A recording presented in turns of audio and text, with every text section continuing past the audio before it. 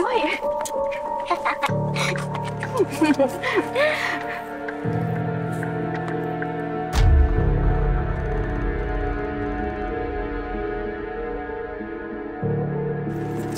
นี่ มองอะไรเหรอ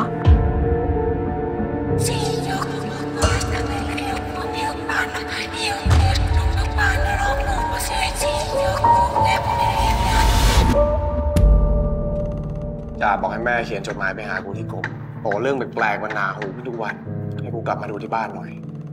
ใครจะอยู่ก็อยู่ ข้าไม่อยู่แล้วตาลุงจะไปฉันไม่ห้ามแล้วกัน มันเกิดอะไรขึ้น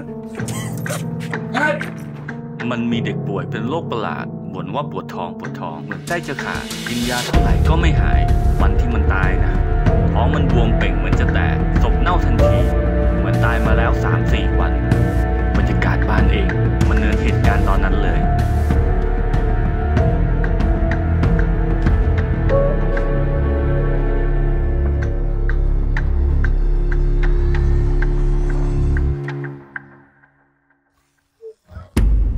ใช่ไหม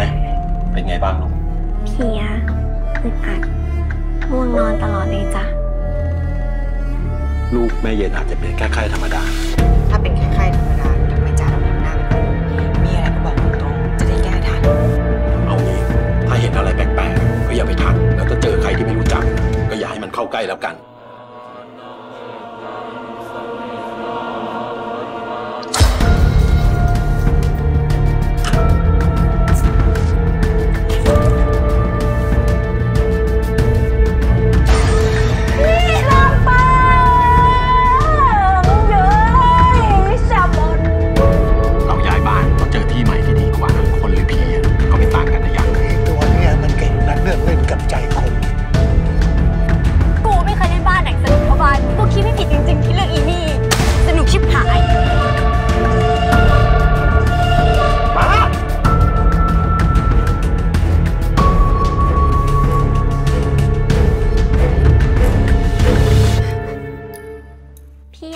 เปิดหน่อย ไม่เปิดใช่ไหมยินแย้มเปิดเอง